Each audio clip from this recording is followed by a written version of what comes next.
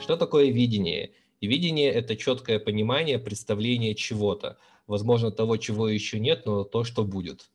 Когда вы понимаете, куда вы придете, если будете идти по этой дороге.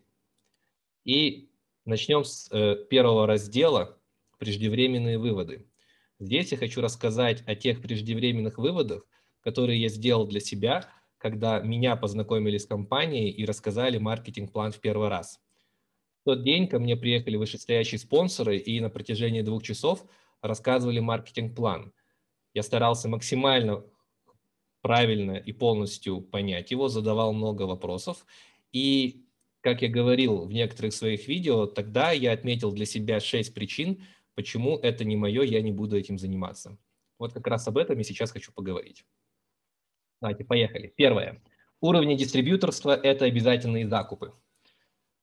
С одной стороны, мне объясняют то, что в атоме нет обязательных закупов, то, что люди покупают то, что они хотят, когда они хотят, но с другой стороны рассказывают про уровни дистрибьюторства, про вот эти пять уровней дистрибьюторства, и если ты хочешь зарабатывать много, тебе нужно быть эксклюзивным дистрибьютором, а для этого тебе нужно набрать 2,4 миллиона личных баллов.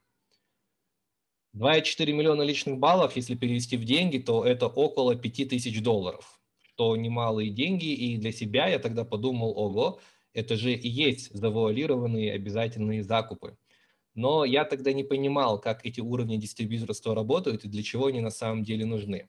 Да, каждый уровень дистрибьюторства открывает вам доступ к заработку, но есть второй способ, как подниматься по уровням дистрибьюторства.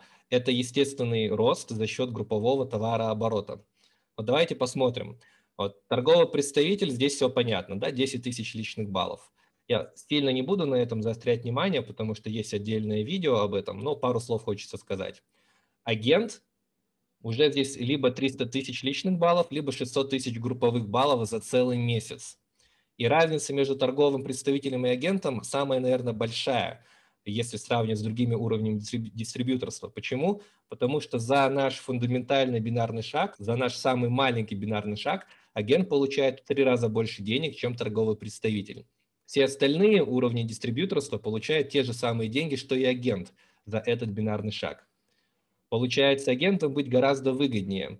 Но агентом можно стать естественным образом, не набирая 300 тысяч личных баллов, если у вас есть групповой товарооборот. Однако, кто работает быстро, кто не хочет долго ждать, обычно накапливает 300 тысяч личных баллов. Далее идет специальный агент, и специальный агент получает доступ уже к новому бинарному шагу. И здесь стоит отметить, чтобы закрылся бинарный шаг 700 тысяч баллов, на конец дня, когда закрывается бинарный шаг, в обеих ветках должно быть более 700 тысяч групповых баллов. Естественным образом до спецагента можно дорасти, если у вас миллион четыреста тысяч групповых баллов за целый месяц. Поэтому чаще всего если у человека за месяц проходит более миллиона четырехсот тысяч баллов, он становится специальным агентом. И обычно, если у человека не проходит такой товарооборот за целый месяц, то за один день 700 тысяч у него пройти просто не может. Даже если в теории так подумать, чтобы люди сами собрали, закупились в один день на 700 тысяч, это очень маловероятно. Понимаете, то, что вот эта система, она сделана не для того, чтобы провоцировать людей на закупы. Это не завуалированные групповые закупы. Все это сделано с другими целями. Все это сделано для того, чтобы наша система, наш маркетинг-план был математически стабильным. И то, что тогда показалось для меня причиной, почему я не буду этим заниматься, на самом деле сегодня является той причиной, почему я люблю наш маркетинг-план. Одной из тех причин. Потому что уровни дистрибьюторства нас не ограничивают в заработке. Они нас не вынуждают на закупы, которые нам не нужны. Уровень дистрибьюторства позволяет нашей системе работать бесперебойно. И если мы работаем, если мы строим сеть потребителей, то мы будем расти по уровням дистрибьюторства. Именно поэтому мы всем советуем искусственно не подниматься выше агента. Что значит искусственно? Не закупать то, что вам не надо на ваш личный аккаунт, лишь бы для того, чтобы набрать личные баллы. 700 тысяч баллов, полтора миллиона. В тех или иных частных случаях это может быть оправдано когда человек хочет очень быстро выйти на определенные ранги, либо когда он делает какой-то рывок, либо этот рывок делает его команда, в тех или иных случаях имеет смысл. Но торопиться с этим никогда не нужно. Если у вас уже есть 300 тысяч личных баллов, то общая рекомендация для тех стран, которые уже зарабатывают, оформлять свои покупки уже на тех партнеров, которые у вас есть в сети, чтобы им помочь набрать 300 тысяч личных баллов. Если вы находитесь в стране, которая еще не зарабатывает, то можете просто постепенно покупать на свой личный кабинет столько, сколько вам надо. Почему? В чем разница? Если вы уже зарабатываете, если вы уже агент, ваша страна зарабатывает, оформляя покупки на партнерах вашей сети, вы помогаете также и накапливать ваши бинарные шаги. В этом заключается ключевая разница.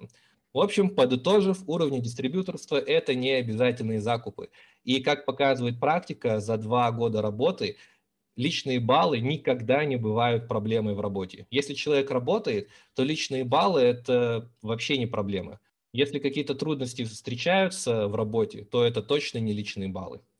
И большинство лидеров уже через несколько месяцев работы все свои покупки оформляют на своих партнеров. Почему? Потому что это и помощь партнерам, и потому что это бинарные шаги. Это групповой товарооборот, а им личные баллы уже не нужны. Поехали дальше. Вторая. Бинарные шаги – это обман. Я пришел к такому мнению, когда мне рассказали про механизм бинарных шагов, как они считаются, то, что считается поменьше ветки, и неважно, если у тебя в одной ветке много, в другой ветке мало, у тебя не фиксируется, пока в меньшей ветке не будет определенного количества баллов, а весь излишек сгорает на следующий день. Э, мне тогда показалось, что это очень несправедливо, но я тогда не знал, как все это работает на самом деле. Я не знал про наше чудесное распределение прибыли, то, что на самом деле компания у людей ничего не отбирает, а весь излишек от бинарного шага, он просто участвует в общем распределении прибыли. И чем больше излишков собирается у людей, тем больше люди получают деньги по своим бинарным шагам. Тем больше денег приносят множители. Это может быть не так просто понять, но в этом заключается основная красота нашего маркетинг-плана, его уникальность и его шикарность. В том, что мы участвуем в глобальном распределении прибыли – и если у кого-то что-то сгорает, если у кого-то есть какой-то излишек, то этот излишек просто идет в общий зачет всей команды, всей страны Атоми. Это супер круто. А то, что считается поменьше ветки, это также является математической красотой нашего бинара, который бесконечный. Почему у нас бесконечный бинар? Потому что именно бесконечный бинар позволяет каждому человеку добиться успеха, когда у нас нет ограничения – когда мы не боимся регистрировать людей, когда мы регистрируем людей до бесконечности и будем продолжать это делать всю нашу жизнь. Потому что рано или поздно где-то в глубине появится человек, который может изменить всю нашу структуру, перевернет наш бизнес с головы на ноги. Или наоборот. Именно эта идея бесконечного бинара является фундаментальной крутизной нашего маркетинг-плана, которая позволяет каждому человеку добиться успеха. А как это может работать? Как, каким образом бинар может быть бесконечным? Мы считаем все по меньшей ветке. У нас есть стратегия построения структуры, которая позволяет также людям с приложением меньших усилий добиться максимальных результатов. И если бы не было вот этой системы э, учета оборота по меньшей ветке, сами подумайте и представьте в голове, с какой картиной мы бы столкнулись, если бы у людей считался просто товарооборот в любой ветке, если мы строим всех колбасу, вот если все партнеры в Атоме находятся в одной колбасе, и они получают деньги за счет всего товарооборота, который проходит в этой большой-большой-большой колбаске, то тогда множитель был бы просто копейки. Это был бы не 4 доллара, это были бы какие-то 10-миллионные центы. И очень мало бы денег на самом деле люди получали. Поэтому распределение прибыли – это просто шикарная модель, нашего маркетинг-плана. И бинарный шаг, вот этот механизм, он настолько красивый, настолько продуманный, и он настолько помогает новым партнерам, то что если у новых партнеров какие-то баллы изгорают, то это копейки по сравнению с тем, что сгорает у лидеров компании. И именно вот эти объемы, которые сгорают у лидеров компании, позволяют новичкам зарабатывать. Окей, далее. Третье. За мой счет кто-то будет зарабатывать у меня возникала такая мысль практически всегда, когда меня звали в какую-то сетевую компанию. То есть у меня была сразу такая реакция, вот, ты меня позвал, ты хочешь за мой счет зарабатывать. Здесь, когда я не разбирался в системе, у меня такая мысль тоже присутствовала. Но чего я не знал? Я не знал того, что есть предел и как он работает. Я не знал того, что у нас каждый человек, вне зависимости от того, когда он начал работать, может догнать всех тех, кто начал раньше него, выйти на этот же условный предел. И то, что есть определенная точка невозврата, после которой рост идет очень быстро. До этой точки нужно доработать. Вы понимаете то, что неважно, да, что вы начали, допустим, сегодня, когда компания уже существует 11 лет, вы все равно можете догнать те семерых человек, которые находятся на самой верхушке. Вы можете догнать людей, которые находятся в лидерских клубах. Вы можете выйти на тот доход, который получают топ-лидеры компании. Вы можете и догнать, и обогнать большинство людей, которые начали раньше вас. И я считаю, что это очень круто и справедливо, потому что все получают по заслугам. Четвертое. Здесь необходимо продавать, предлагать. Я не особо люблю продавать и не особо люблю предлагать, потому что для меня достаточно некомфортно вторгаться в чужое пространство. Я могу продавать и предлагать тем людям, которые сами этого хотят, которые пришли и говорят, вот, продай мне. Да, я это умею, я это могу делать. Но здесь, когда мне рассказывали о бизнесе, первое, одно из первых, что мне приходило в голову, то, что это продуктовая компания, то есть здесь продукция, косметика, БАДы, и это нужно все продавать. Я не люблю это делать, соответственно, это не мое. Это тоже было заблуждение, потому что мы продажами не занимаемся. И здесь нужно понять правильно. Это не значит, то, что все, нельзя продавать, не нужно продавать. Продажи – это мощный инструмент в построении бизнеса, но они не являются обязательным инструментом. То есть если вы не любите продавать и не хотите продавать, вы все равно можете стать империал мастером, потому что в нашем бизнесе достаточно уметь рассказывать, достаточно уметь доносить информацию – или рекомендовать. Вот рекомендовать – это тот минимум, которого достаточно, чтобы добиться успеха. Почему говорят, что Атомия – это бизнес для хороших людей? Потому что хорошие люди любят рекомендовать. Мы с радостью рекомендуем то, что нам нравится самим. Почему председатель говорит, если вам не нравится наша продукция, то не нужно заниматься Атомией, это не ваш бизнес. Потому что именно на этом построен весь бизнес. Вы попробовали продукцию, вы ее оценили, вы поняли, в чем ценность компании, и вы рекомендуете это другим людям, которым желаете добра, просто чтобы они получали качественную продукцию и доносили информацию о бизнесе. И если им это интересно, они заинтересуются. Если нет, то будут просто для себя покупать классную продукцию. В этом суть бизнеса. И продавать здесь не нужно. На сегодняшний день у нас проходит товарооборот более миллиона долларов, чуть не сказал миллиарда миллиард долларов у нас еще не проходит, но в структуре проходит э, ежемесячно около миллиона долларов товарооборот, и мы ничего не продаем из этого. Мы начинали тоже не с продаж, мы начинали с обзоров, мы начинали с рекомендаций. Мы рассказывали о личном опыте использования продукции. И это, я думаю, работает на большую аудиторию гораздо лучше, если мы просто что-то рекламировали. Мы пользовались сами продукцией и делились своими впечатлениями. Поэтому, друзья, продавать здесь не необходимо. Далее. Пятое. Это типичная сетевая компания. Так, сейчас я, возможно, скажу что-то, что может кого-то обидеть, и, скорее всего, мне не стоит этого говорить, но я все равно скажу то, что я хочу сказать, потому что я хочу это сказать и хочу быть с вами предельно честным. И я здесь не хочу обидеть никакие сетевые компании, потому что ну, сетевые компании бывают разные, есть хорошие сетевые компании, но большинство сетевых компаний, в моем понимании, нехорошие. Что значит нехорошая сетевая компания? А, есть прям такие явные финансовые пирамиды, а есть завуалированные. Что значит завуалированные? Это те компании, если из которых убрать маркетинг-план, люди просто не будут покупать эту продукцию. Почему? Потому что главный продукт в MLM – это надежда в общих масштабах, я сейчас не говорю то, что во всех сетевых компаниях, в большинстве сетевых компаний главный продукт – это надежда. Люди покупают продукцию не потому, что не хотят ее купить, а потому что они надеются заработать, потому что они надеются построить бизнес, изменить свою жизнь, выйти на доход. По сути, простыми словами, как я всегда это видел, это то, что бронзу, серебро продают по цене золота – и люди платят эту цену золота за бронзу и серебро, потому что они надеются построить бизнес.